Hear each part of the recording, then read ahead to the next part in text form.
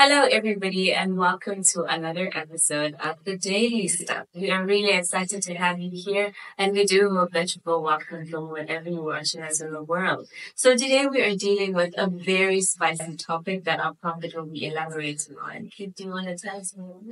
Well, today we're dealing with none other than the art of seduction.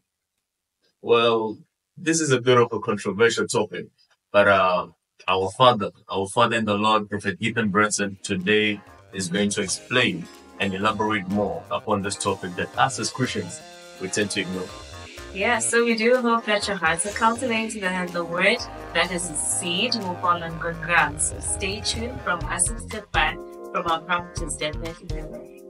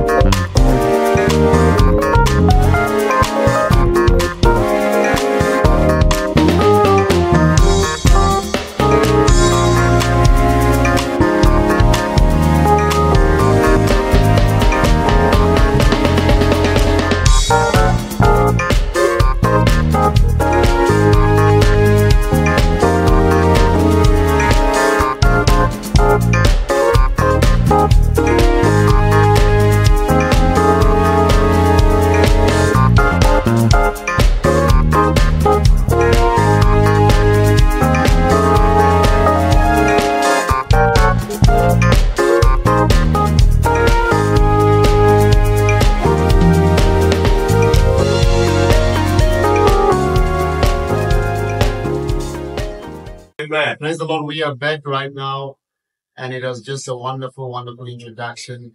It was amazing. So, wherever you are watching us from, in any part of the world you are watching us from right now, please tell a friend to tell a friend that we are live. So, tell a friend to tell a friend that we are live, and let us just increase our audience. So, make sure that you share this broadcast with somebody. Let them know we are live. You don't want to miss this. It's called the art of seduction. You want to actually pull your whole attention span and focus on this one so that you can be able to grasp that which God wants you to understand, that which God wants you to learn today. Hallelujah. Amen. So I can't wait to get into this one. I believe you are ready. Get your notebooks, get your pen, get your Bible, get everything that you're dealing with, and let us very well get into this particular topic so that you can be in a place where you understand what God definitely wants for you today.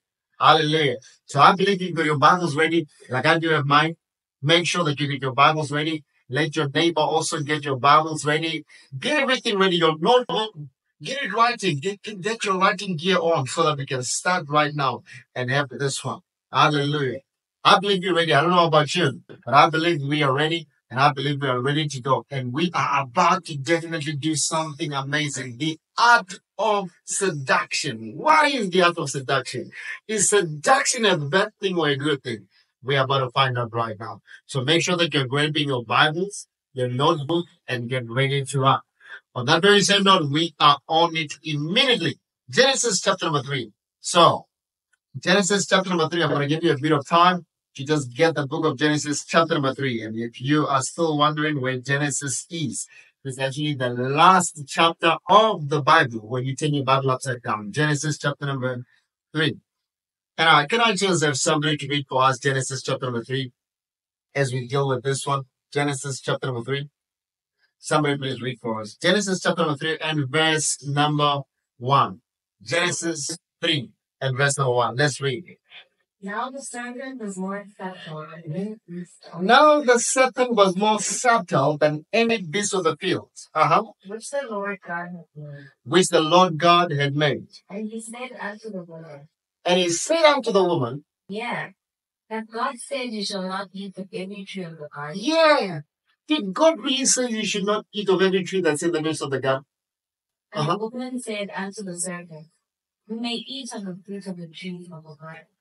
And the woman said, We may freely eat of all the trees in the in the garden. Uh-huh. But of the fruit of the tree which is in the midst of the But of the fruit of the tree which is in the midst of the garden, God had said, God has already commanded. You shall not eat of it, Uh-huh. neither shall you touch it. You shall not eat of it, neither shall you touch it, lest you die. lest you. Now I want you to get something right here. Already, we're already establishing something. Genesis from chapter number one, God has made everything beautiful. Everything is good. Everything is vivacious. It's looking amazing. It's all good. And the serpent is not in the picture at this particular time. Genesis chapter number two as well. God alludes the creation of man, how man was formed rather, how God formed man out of the dust of the ground and breathed into him the breath of life. The word breathe there is the word shalpak. That means he installed his spirit into the human body and the human body became a living soul. Now, Genesis chapter number three right now, after God gave men the commandments, that of every tree in the garden you may freely eat, but of the tree of knowledge of good and of evil thou shalt not eat. For in the day that thou shalt eat, you shall surely die. Genesis chapter number 3 opens and says, Now the serpent was more subtle. The word subtle there is the very same word that says cunning. Understand? Notorious. In a very, very bad way. Another, in other words, hmm. bad knowledge, bad insight, bad wisdom. But the serpent was very, very cunning, very subtle than all the beasts that the Lord God had made. And he said to the woman, in other words, the serpent looked at the woman, and already from the first part there, you are already introduced to seduction. Now, I want you to understand this that seduction, from the English dictionary, the word seduction simply means this it simply means to a form of enticing or luring somebody into an in uh, uh, into an inadvisable notion or a foolish, hard thing to do. So when you are seducing somebody, you are actually hacking into their willpower to make them do something that they will not utterly do with themselves in their own conscience. So basically, that's what we call human spirit hacking. So if I seduce you, I want to cause you to do something. I hack into your willpower to cause you to do something that you may not be able to do in your own right consciousness. Are you getting this part? So when you are seducing somebody, you are basically committing them, causing them to do something inadvisable for them to do. That is basically seduction. So if we definitely seduce an individual, which means we are causing you to do something that you not utterly do in your own senses. I hope you're getting this so far. Now, the serpent gets in this particular way and says to the woman, Did really the Lord say? Understand this. The first part of seducing is actually to lure somebody into doing something. Like uh, back in the days when we were still growing up, when we were young, under the African sun, what we definitely do is this when we wanted to catch birds for, for the sake of meat, we did not have all these KFCs and uh, McDonald's where you can actually go, go get your fast foods. You had to hunt your meat and uh, you had to lure the prey into a trap by giving them what they want. So what we'll definitely do in order to catch the, catch the chickens or the birds would put seedlets on the ground. So the chicken eats the seed following the seeds, but does not know that the intention of the seeds which are just lying around at no trap are actually luring the prey into a trap. That was the art of seduction. So basically, when you're seducing an individual, you lure them into a trap. And how do you let them? There are different ways of seduction. This is what we want to get into right now. The art is called an art, right? The craft of seducing. So there is a particular ultimate goal that you already have that you say, this is the mission, this is the out statement, this is the destination where I want this particular person to get into. And before this particular person get into that particular scenery or that particular place of being seduced, there are steps, that craftness that is basically done in order to achieve the purpose of seducing that individual. I hope you're getting this. So, right now, we are about to get into the art themselves. What are these arts? What, what really happens when you, you have to be seductive? What causes a person to really get into a state where we now call you a seducer or a seducee? Mhm, I hope you're now getting this part. Now, I want you to understand this part. Remember, we notified and we actually came up with the notion that the word seduce, according to the Oxford Dictionary, simply means an act of enticing somebody into doing something inadvisable or foolishly. I hope you're now getting this. So, if the scripture tells us that the devil was more cunning, was more subtle than any other beast, in other words, it was a subtle mind that had to be in play in order to achieve the art of seduction, in order to achieve the final goal of seducing Eve. Now, here is a beautiful tree, the knowledge of good and evil, the tree of knowledge of good and evil. It's seen in their midst each and every single time they wake up. There are other trees all over that are bearing fruits, but there's this particular tree that's in the midst of the garden. They see it every day, they see its fruits, but there is a wandering spirit within. You understand? This part of uh, questioning what does this fruit taste like? How does it look like? And let me tell you this the eyes of their understanding pertaining such a tree was not yet opened until the serpent came with an art of seduction. Now, the art that he used there is called the luring art. The first part of seduction is to lure somebody.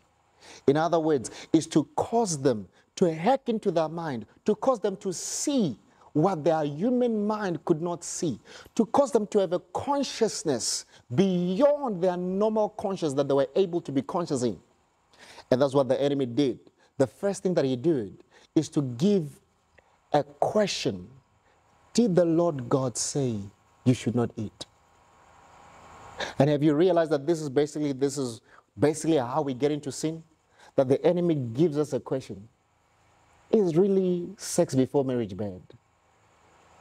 You are questioning on that willpower. You are questioning on the word that you've already received in your spirit. That very same word that has entered your spirit, that spirit man that has received and conceived the word, you are questioning on that. Are you sure? Was that really his intention? Is that what he really said? Is that what he really meant? That he should not eat? Maybe he meant something better. Maybe he meant something different. Did he really say you should not eat of the fruit of the tree? Maybe he meant something beyond what we're thinking. And that's the same thing that the enemy asked. Did the Lord say you should not eat of this fruit that you can see falling every day? You are pruning the tree, you are cleaning the tree, but you have no idea how it tastes like. Ah. and I believe this is the very same confession of a lot of people who saying, I went to school with this girl. She would tell me I need help with my homeworks. But there was a day I looked at her and my heart pumped faster. My blood blood rushes. And I asked myself, is this girl really having intentions of being my friend? Or she just wants to be gotten into a place where she's cornered into a relationship. And after that relationship, we corner her very well into the bedroom. And one thing leads to another, and then voila, we're done with the mission. Until that consciousness is seared, until that conscious feeling, that conscious boundary is broken, then that art can't work. So the enemy makes sure that he questions the word that you have within you. Are you getting this part? To such an extent that there are a lot of people right now who are still questioning Am I really called in ministering? Am I really called to serve God? Maybe this is for others, but yet the Bible says, For many are called. In other words, majority of us, we are called by God. So the question is, am I called or not? Many are called, but few are chosen. So if, if you're listening to the sound of my voice right now, you are part of the called. The question is, are you part of the chosen? So it's the luring statement that the enemy comes to say, look, brother so and so did it, sister so and so did it. Why can't you do it? You see, she did it, nothing happened. He did it, Nothing happened. Why don't you also try to do it? Nothing will also happen to you. And then what happens? The very same art has now gotten people right now supporting children they did not intend on having. So some people were led into doing what they did not intentionally want to do, all because they were enticed into doing something which was not their intentions on doing. So they were fooled into this art, they were fooled into the craft where the seducer has gotten them in a place where they really, where he really or she really wanted them to be in. And this is how a lot of people have ended up in sin today because our minds play games with us. When the devil whispers to us, kill yourself, you are not worthy. Don't you see you're not beautiful enough? Don't you see that nobody loves you? Don't you see that there is nobody that cares about you? Look at that rope. Take it. Hang yourself. And as a result, this is how majority of us commit suicide. This is how majority of us are led into depression, into a lot of heart problems because we are seduced into the art of the devil. Now, you want to understand this. What is seduction? How do we really get seduced? Yes. What happens in the seductive form right now? Yes. Hope you're getting me right now. Yes. So I hope you're now getting your pens ready right now. And if you are watching us from different places, make sure tell somebody we are live. The prophet is dealing with a hot topic right now. Make sure, come in, come hear this message, come hear this. Stop whatever you are doing and come hear this one because it's going to be a great eye opener for you. Now, what we have read, the Bible then says the serpent was more subtle than any other beast that the Lord God created. And it starts by questioning Eve Did the Lord God say you should not eat? And Eve gives her own understanding according to as she has heard, according to the instruction that came into her spirit, that she has conceived and is busy walking into and walking by. And she goes like, no, God said we should not eat, not even to touch. For in the day we shall do it, we shall die. And the serpent says, no, no, no, you shall not surely die. But the Lord see that you shall be like him, knowing both good and evil. And the Bible then puts it like this when you go further with the scripture. It says, and when the woman saw the fruit, in fact, let's just go there. Let's just go there. Let's just let's just go there so you can understand this. For those that are joining us, we are at Genesis chapter number three. Chapter number three. Verse number six. This is where we are now reading from right now. Can you please read for me? Verse number six. And when the woman saw that the tree was good for food. And when the woman saw Ah, I don't know if you're getting this. I don't, I don't know. Oh, yes, I don't know if you're getting this. Oh, yes. Are, are you guys getting this? We're getting it. It says, and when the woman saw, she was already ahead. Re, re, remember this. Before we had uh, televisions, the first thing that was there was the radio.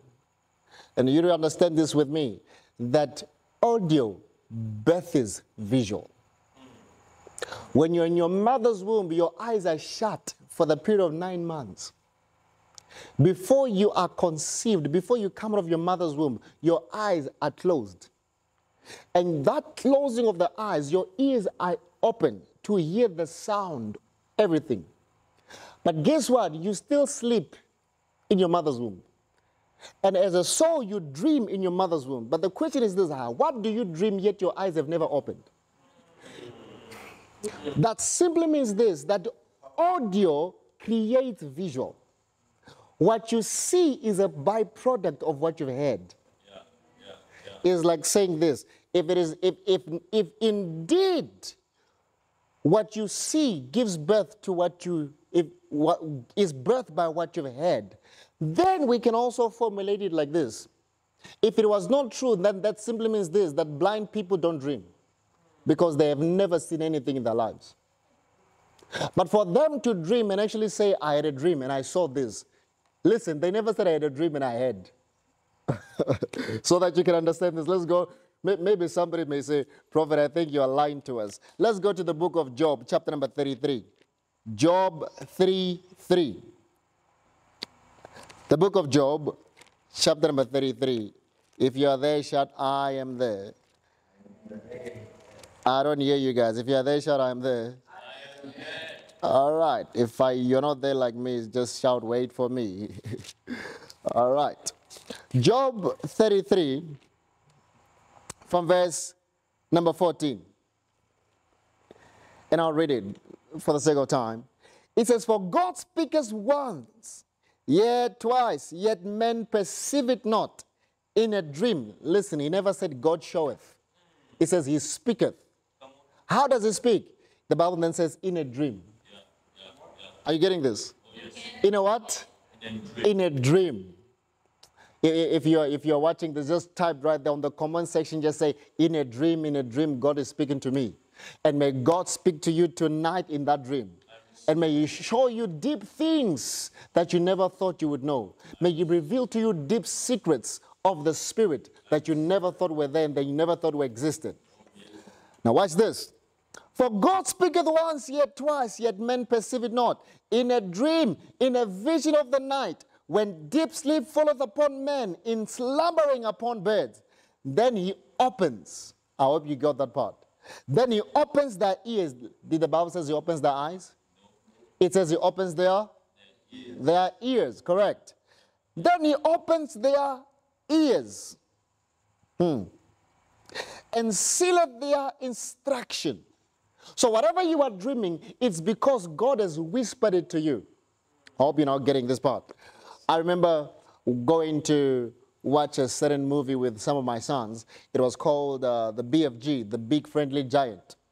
And uh, in The Big Friendly Giant, the Big Friendly Giant was able to speak dreams into the hearts of the giants, and the giants would dream things. Even the children will dream things. And when they would dream all these things, it was because the giant would come and whisper to the ears. And whatever they would whisper is what they actually would see in the dream, actually, what they would dream about. Now, it simply means this that if I can say something, you can see it. Have you realized that you actually were very much in love? You were so much in love, butterfly feelings everywhere. There was no person under the universe that could take you out of love until that third party came and told you what your partner was doing. And immediately you saw. I don't know if I'm talking to somebody. Maybe, maybe somebody in the United States can hear me right now. I think somebody in Barbados, somebody in St. Lucia, somebody in St. Martin's is actually hearing me better. It is actually what you heard, the rumor that you heard, that when you looked at this particular individual, you started changing your perspective about that person. Am I talking to somebody? Right now, we've got people all over the world who have heard this about that man of God, this about that man of God, this about that man of God. It is actually what you heard that has changed your perspective on that man. You love that man of God. You used to watch him day and night, but until you heard a particular rumor, it made you look at that man of God with the eyes of him being an evil person when he was always good in your eyes. So, which means what you have heard has changed the narration of who he now becomes in your life. So, hearing is seeing. Hope I'm talking to somebody. Hearing is what? The Bible says, when you shall, when you do not know which way to go, you shall hear a voice from behind saying, This is the way, walk ye in it.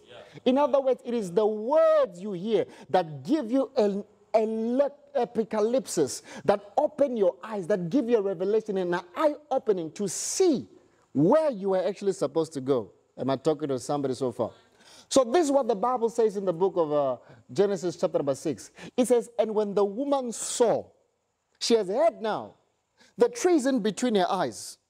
The tree is just in front of her. She has now heard the enemy. She has heard the serpent telling her about the questions. That this is what you should question. No, this is not how it is. God sees that you shall be like him. Now the woman now starts to see with the eyes of a seducer. Starts to see, is now in the trap of a seducer. She has fallen into the trap. She has now been enticed into the seducer's trap. She has fallen victim to what the seducer wants to achieve. And isn't this the very same thing that majority of us right now are listening to me? Majority of you, you are fallen trap to the seducer. That boy came to you, promised you heaven and earth.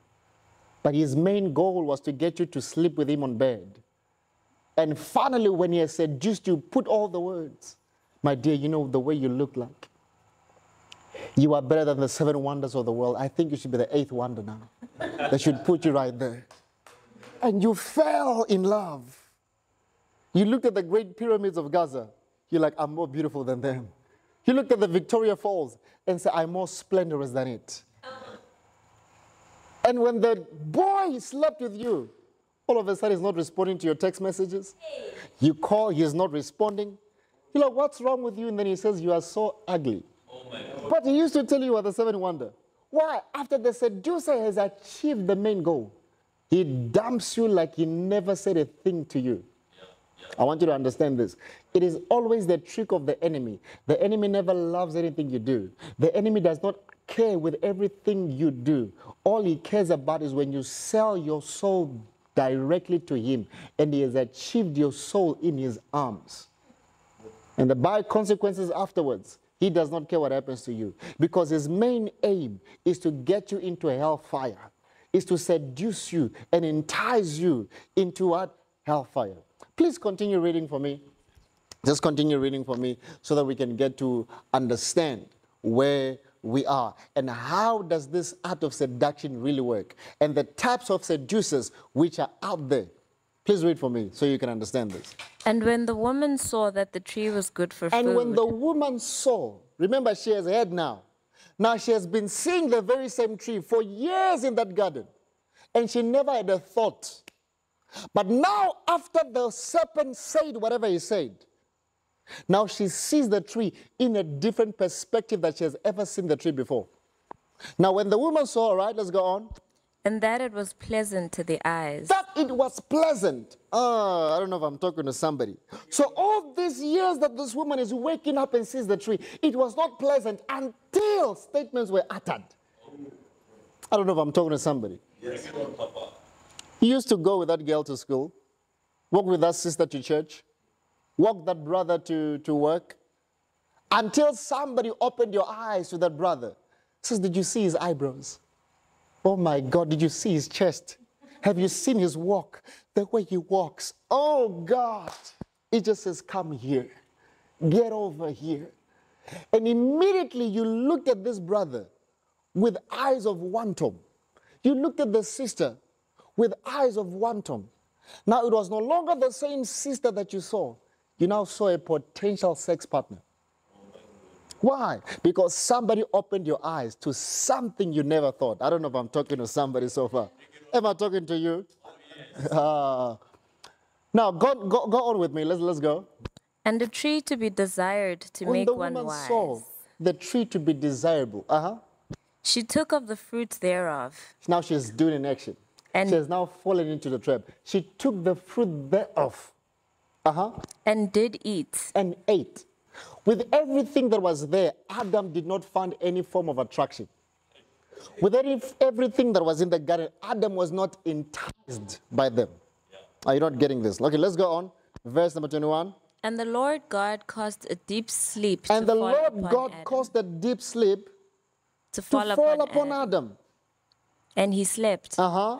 And he took one of his ribs And he took one of his ribs and closed up the and flesh closed up the flesh. instead thereof. Uh huh. And the rib which the Lord God had And the taken from rib man, which the Lord God had taken from man made he a woman made he a woman and brought her unto the man. and brought her unto the man. Now watch this. So God did not just uh, just uh, bring something and just brought it just like that. God crafted a woman, brought it to Adam in a way that Adam would be enticed. I don't know if I'm talking to somebody so far.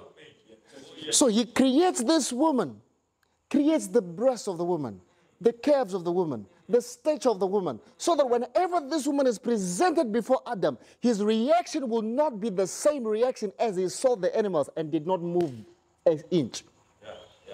So God brings the woman to him. Right? Now watch this, watch this. Let's let's go now. Let's go- continue.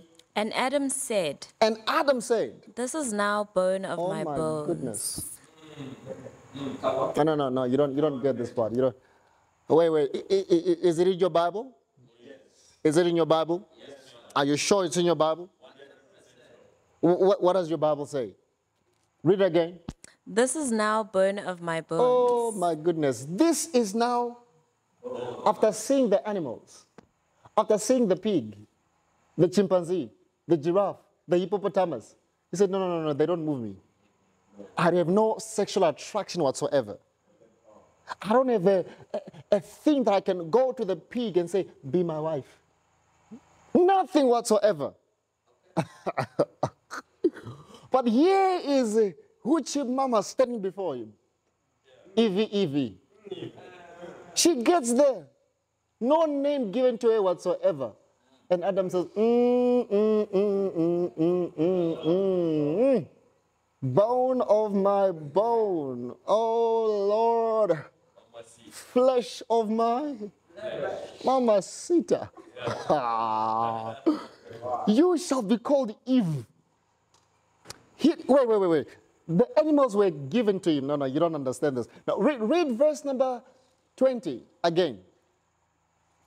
Verse number 20 of the very same chapter. And Adam gave names to all the cattle Uh huh. and to the fowl of the air. In fact, go, go, go, go, go uh, verse, uh, verse number 19. And out of the ground the Lord God formed every Mm-hmm. And beast out of the ground, the field, Lord God formed every. beast of the field Uh huh. and every fowl of the air Uh-huh. and brought them unto Adam And brought them, presented them to Adam. Adam, here's a wife. Huh? Adam, here's a wife. Choose from the chimpanzee, from the giraffe, from the zebras, from the buffaloes. Choose. And Adam just gave them names. I know buffalo, zebra, giraffe. But Adam is still lonely. And God says, It is not good for a man to be alone. I will make him a suitable help met for him. And God caused this man to fall into a deep sleep. And when this man falls into a deep sleep, what happens? The Lord takes from his rib and forms a woman and seals it up with the flesh. He decided, you know what? If I use the very same tactic, this man will not be enticed. If I use the ground that the- animals came from, this man will not be enticed. Let me use something that when he looks, he will say, Mama Sita, Mama Mia, Kraktos Kolovrosia. Something that will make this guy speak in tongues. And what did God do? God formed a woman and presented him to Adam. The same way that God formed the beasts, formed the kettles, formed everything, and presented them to Adam. But Adam only gave names, but never said nothing. But when Adam looks at Eve, he says, This is now bone of my bone, flesh of my flesh. She shall be called what? She shall be called a woman. What, what, what's this? We, we're not done. Let's go on. Uh huh. Verse number 24. Verse number 23. Uh huh. Let's go. and Adam said Uh-huh. this is now bone of my bones This is now bone of my bone. Uh huh. and flesh of my flesh. And flesh of my flesh. She shall be called woman. She shall be called woman. Why? Because she was taken out of man. Because she was taken out of a man. Now, watch this. Let's go. Verse number 24. Therefore shall a man leave his father and his mother, and shall cleave unto his wife, and they shall be one flesh. Therefore shall a man leave his father and his mother, and shall cleave unto his wife, and they shall be one flesh. Now watch this. Adam looks at Eve, and this is what happens next. Verse number 25. And they were both naked, Oh, oh. And they were both naked, the man and his wife, the man and his wife. and were not ashamed. Hmm. Both of them were naked and are not ashamed. I don't know if I'm talking to somebody. Oh, yes, man. Both of them are naked and are not what? Are not ashamed. Yes. It, it tells us here that they were naked and not ashamed. In other words, the very same word naked that does not mean that they were just naked, looked at, oh, there's nothing. No. It simply means, and the man and his wife had intimacy and did not feel no shame. The question is, who taught Adam how to have intimacy? That's a tricky one, Papa. Who came down? Which angel said, Adam, this is how you use that love portion that's inside of you? And it, this is how you stir up that well that's within you. So that the well of Jacob can be fetched. and water can be taken out. Who taught Adam that? Nobody. Why? Art of seduction led him, enticed him, and the two are one. Every single time he wakes up, he sees this witchy mama's like, mm, mm, mm, mm. My God, my God. You are bone of my bone, flesh of my flesh. He just feels like holding her. He just feels like kissing her. He just feels like she should be around. Go with me to the book of Songs of Solomon. Maybe you'll understand this better. Songs of Solomon, chapter number 8. Are you still here? Yes, Carla Brongle isobrotaskiva. Car ola savre, delle gran soffre delle hitoskevia. I see. Songs of Solomon, chapter number 8.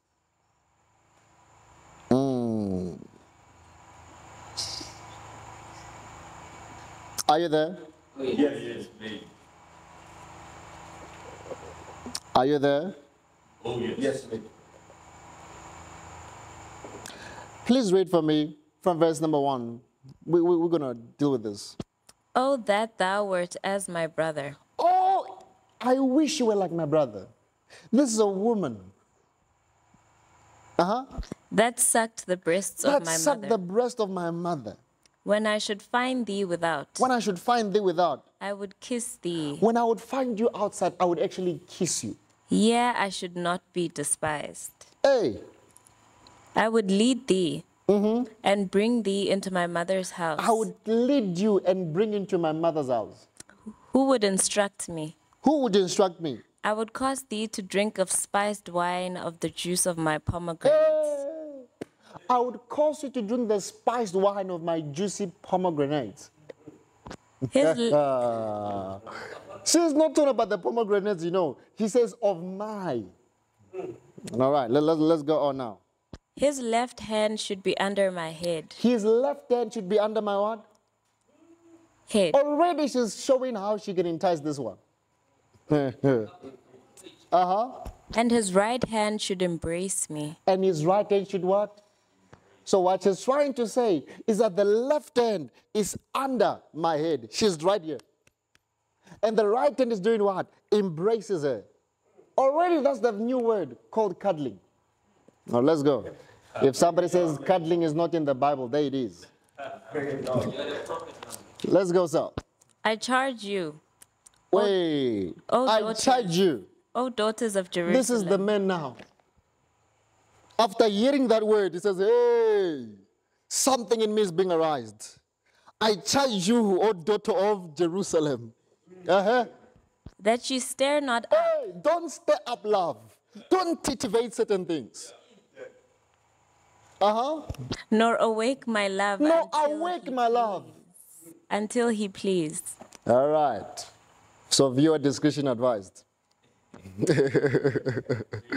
that you awake not my love until it's until it's pleased. Who is this that cometh up from the wilderness, Who is this that cometh up from the wilderness? leaning upon her Leaning beloved? upon a beloved. I raised thee up under the apple tree. Ah, Let's leave that part. I raised thee up under the apple tree. So, one thing you need to understand seduction has always been there. The one that really made seduction was God Himself. The art of looking into somebody and you fall in love instantly. It was God, the author of it. Remember, the devil is not the author of anything. The devil takes what God created and corrupts it. Am I talking to somebody? Yes. He takes what's already there and he corrupts it. Now, we have this that people need to understand. When it comes to seduction, it is how the enemy uses this tool to get many people into sin and many people falling from the grace and from the call of God. We have a lot of people today who have been seduced by the enemy. A lot of people today who have fallen victim of the enemy. Now, let me show you one thing. We've got different types of seducers, right? The first kind of seducers are what we call the sirens. Now, the sirens are the women. These are normally the women. The sirens are women who have a high sexual aura. In other words, they are attractive. The moment you look at them, just something just tells you, I need to sleep with this one. I just need to get in bed with this one no matter what. She does not need to say nothing to you. Now, a siren is in her own way, way powerful than any other thing. And the opposite of a siren is called a rake. Now, the rake is the male counterfeit. So, the male part is called the rake. When a woman looks at this man and only sees a sexual partner, where you desire this man sexually. So, both the siren and the rake are in the same category. I hope I'm talking to somebody. Yes, man. For example, you have a woman in the Bible by the name of Delilah. Delilah was a part of a siren, or rather, rather a woman was a siren. You have a woman as well in the Bible, and I'm going to explain this as we as we go further. Delilah knew how to catch Samson's attention. Yeah, yeah. Delilah knew how to lure Samson into what she wanted. She had a very seductive kind of a spirit that was able to lead this man and make him forget who he was. Everybody's asking, Samson, where is the strength of your power? I mean, if you are looking at Samson, he, he looked way skinnier than me. And if you, you, you, you if if indeed Samson was actually more powerful, there was no need to ask, where is your power coming from? Because you can see the bulkiness of his muscles. You can see how built his chest is, how the definition of his biceps and his triceps are coming up. So there was no need to ask, where is your power coming from? Because it was coming from the muscles, therefore they're already there. But this man is too skinny that everybody is shocked, perplexed at the way that this guy handles gates at ease. At the way this guy just picks up heavy objects that men of high value and men of high stature, highly men trained in their muscles, muscle builders, can't even pick up the weights that Samson is picking up. And Delilah comes, puts the men on the thighs, knows how to brush him nicely, give him a nice massage, and says, Baby, please tell me, where is your power? The first time this man refuses to be seduced, lies. But the second time she really got him where she wanted, puts him on the lap. After feeling the heat of the lap, the man sleeps. He says, Where is your power? He says, My power. From the day I was born, my hair has never been cut. If you cut my hair, my whole power will cease. And she calls the Philistines. She said, This man's power is on the hair. I will cut nicely his dreadlocks. And then afterwards, I will call you. And then after cutting the dreadlocks, she says, Samson, arise, arise, the Philistines. And Samson realizes the power is gone because he was seduced in the art of a siren seducer. Who just by looking at this woman, there's just an aura of being enticed sexually. That's what happened to Samson. Now you've got also what we call the rakes. The rakes are, you know, people like uh, Solomon. Solomon by himself, how does he manage to have a thousand women, 500 concubines around him? I mean, he can finish the whole calendar two years or even three years. 365 divided by a thousand, you still have surpluses. That means in a year, this man can't even finish all the women. But he has married them, they're his wives. Imagine a thousand women, you still need to get some small houses somewhere. Concubines, you are not satisfied. Because his wisdom was already alluring enough. Now that's what we call the rakes. Now the second kind are what we call the stars. The stars are those which we today in the modern world we call the charmers, where the way they dress, the way they walk, the way they smile, the way they talk, the way they present themselves. You just are charmed. You are taken into this art. Delilah, I mean, uh, this woman, Jezebel, was one of the stars. When you look at her, the way she put makeup on her body, it will cause you to lose yourself.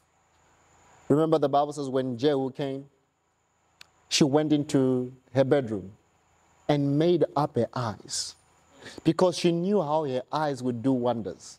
Maybe you don't understand. Go back to Songs of Solomon, chapter number one. Let me show you this. Songs of Solomon, chapter number one.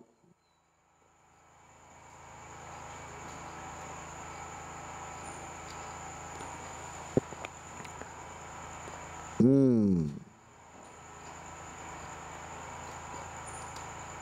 Kabaros teglahasta bahatogleonste. Ibrosta blandra kadalagraskas. All right, look at this. Verse number one. It says, uh, in fact, verse number two. Let him kiss me with the kisses of his mouth, for thy love is better than wine, because of the savor of thy good ointment. Thy name is an ointment poured forth, therefore do the virgins love thee. Draw me, we will run after thee. The king has brought me into his chamber. He will be glad and rejoice in thee. We will remember thy love more than wine. The upright love thee. And then Solomon responds. Listen to what he says. He says, I am black but comely, O ye daughters of Jerusalem, as the tents of Kedar, as the curtains of Solomon. Look not upon me because I am black, because the sun has looked upon me. My mother's children were angry with me. They made me the keeper of the vineyard. But mine own vineyard I have not kept. Tell thou whom my soul loveth. All right, we can actually stop there. It is just to show you the first part of the very uh, Songs of Solomon, who Solomon is the author, tells you how much Solomon was just a charmer by profession.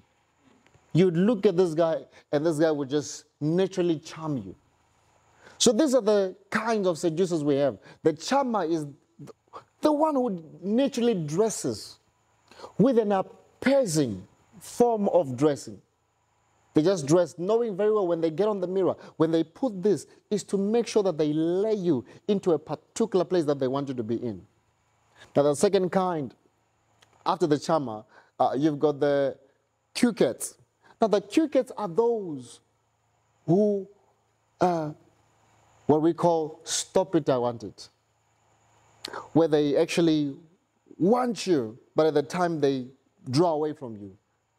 They show you that they really want you. Then the next thing, they give an attitude like they don't want you. They confuse you a little bit. They cause you to be hot. The next thing, they pour you with cold water. And you don't understand what's, what's really happening. Is what we call the dominant side of the, or, and if they are women, they are actually more dangerous. Because she smiles at you, and then you think she likes me. Then you go there, and she like disgusted about you.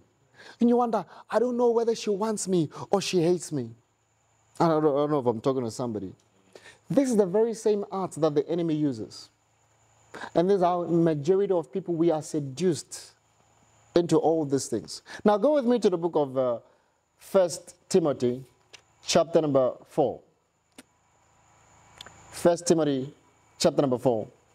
And I want you to show you this that in the art of seduction, this is how the enemy is winning over the church today.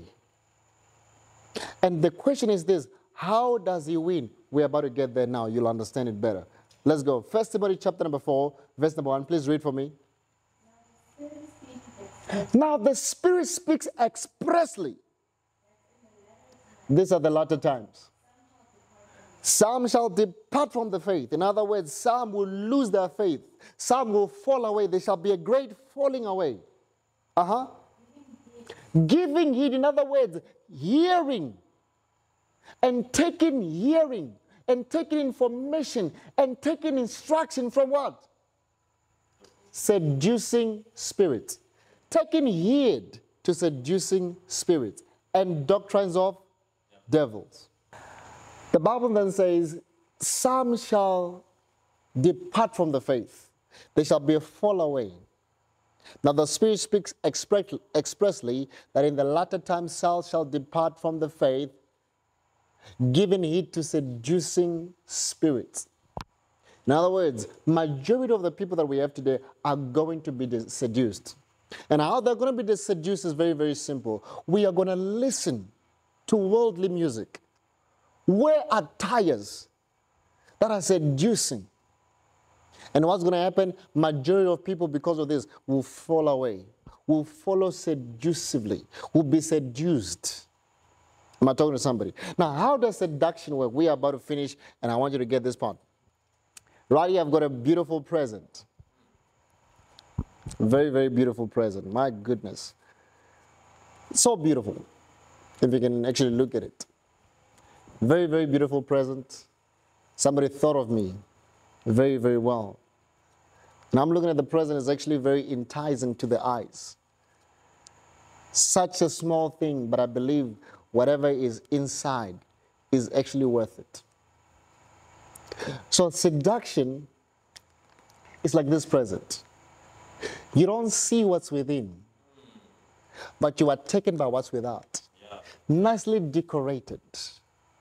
The same way we've got adverts, advertising alcohol, advertising cars, but nobody tells you the cost of the car.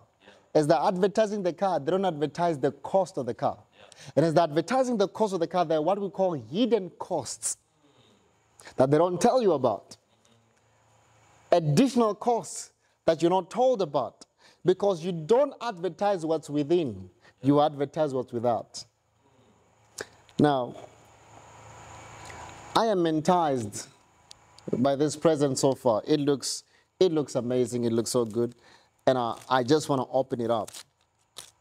And breaking it open, the first layer is broken. I'm seeing my ribbon nice. I just want to take the ribbon out. The ribbon is nicely taken out. Now, already,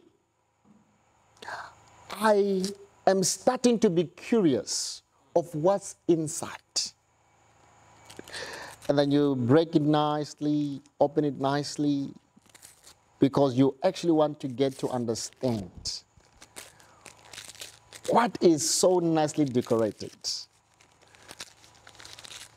The breaking part even adds more curiosity. I can see there's still another package, packaged nicely so. Oh my goodness. I break it. Oh wow. It's a box. And the box is a what? Allergex. It's medicine. But guess what? When you break open, inside is nothing but trash. Oh my god. But unfortunately, you've already broken it up and you've already taken trash upon you. You were seduced nicely by what was outside. You thought it was good. That's what the Bible says. There is a way unto men that seemeth good, but the end of it leads to destruction. The enemy has decorated the ways of death to look like they're the best. And we've got people falling away into this present that has been nicely decorated. But the enemy never advertises what's within. The enemy never tells you what is within because he knows once you find out what's within, you will actually go back. I don't know if I'm talking to somebody. Oh, yes. This is what you need to always know. As you're listening to this right now, know the art that the enemy uses to seduce you. Because as long as you're in this earth, you will be tried in many ways. Your faith will be tried in different places. You'll be tried in how you speak. You'll be tried in your walk with God. You'll be tried in a lot of things, especially when you get into compromising situations. You'll be in a place where you feel like, God, it's too much, I just need to give in. And majority of the people this way, we give in to the lures, to the temptations. We feel like it's too much, I can't handle it anymore. And we give in. And the moment you give in, that's where the enemy wants to catch you. And since the enemy normally catches you at that particular instant, I want you to understand this. There is still hope for you. Yeah. The Bible says, repent before it's too late. The word repent simply means to turn away, to face the opposite direction from where you were facing. Repent away from that sin.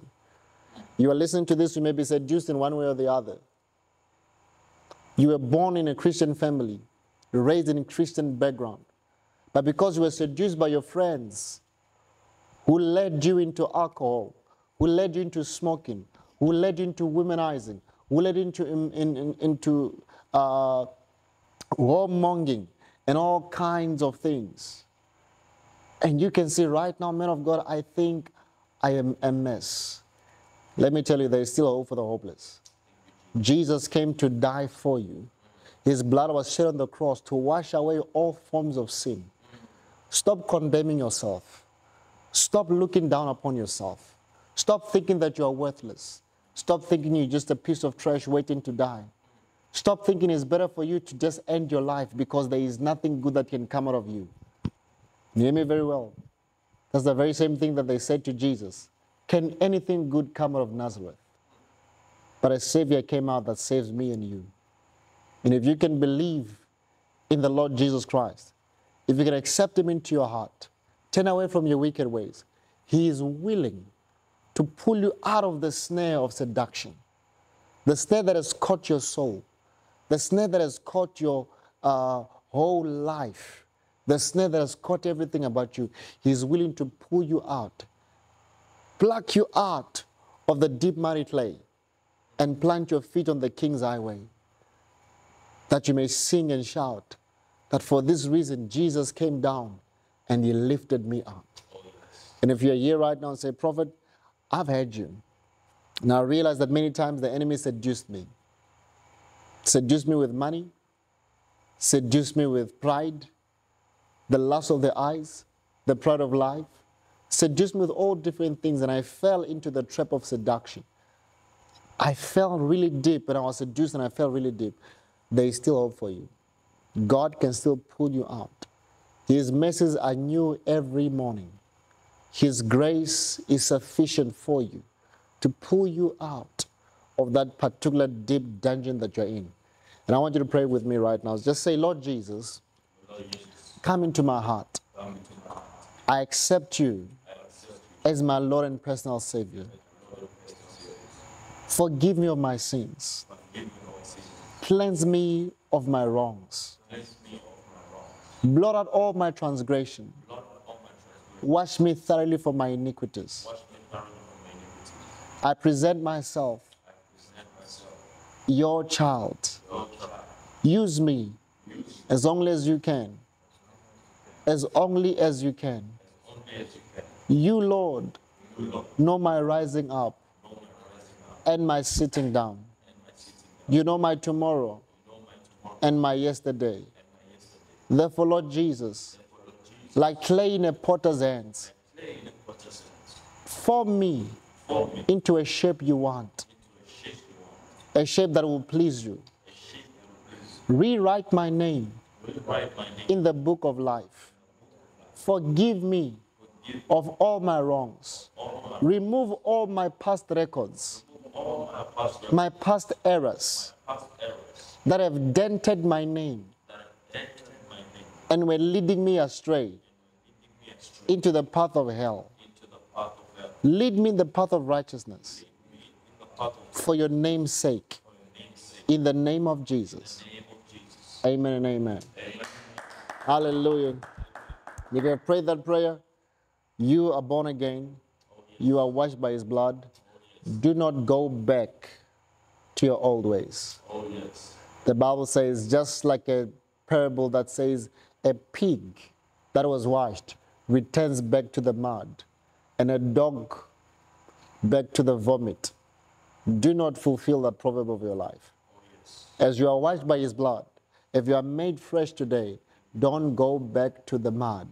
Don't go back to the same errors. Continue in the light Walk in the light, shine that light. Let your light shine. My name is Prophet Ethan Branson, and I will see you again on our next episode. God bless you, and shalom, shalom, shalom. God bless you.